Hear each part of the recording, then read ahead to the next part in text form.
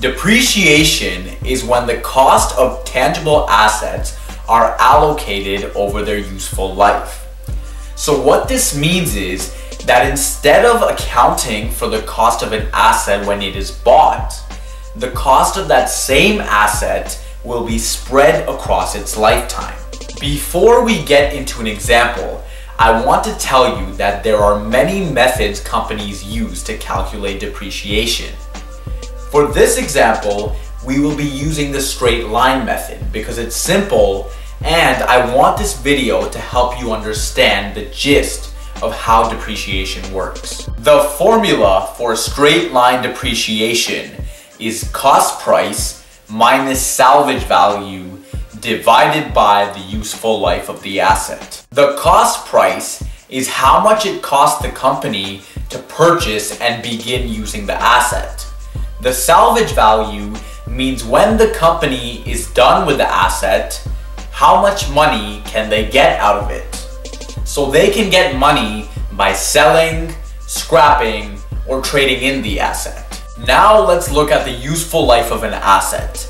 The useful life can be expressed in many different ways.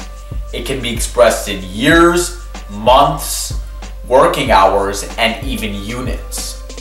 For our example, I'll keep it simple and express useful life in years.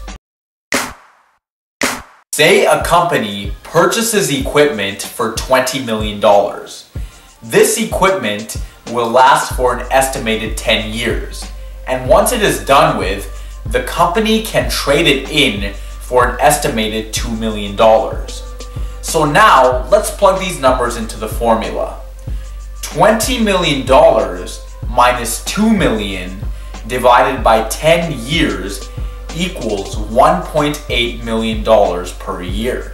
So what happens with this 1.8 million is that it becomes a part of expenses and affects net income.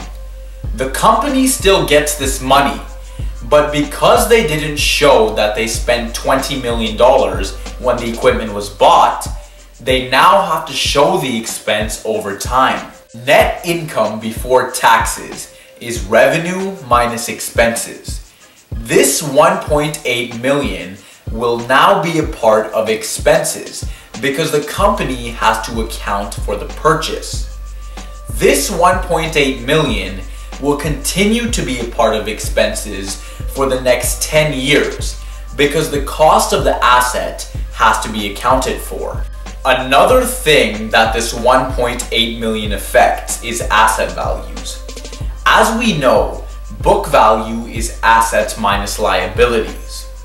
Since this equipment is a part of these assets and is depreciating every year, assets will decrease. Every year, this 1.8 million is subtracted from assets because this equipment isn't worth $20 million a year later. In the accounts, it is worth 20 minus 1.8 million, so 18.2 million.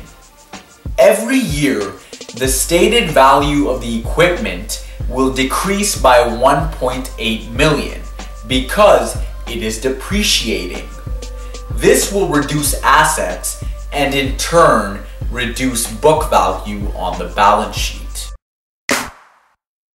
Depreciation continues until the asset is fully depreciated or if the company gets rid of the asset.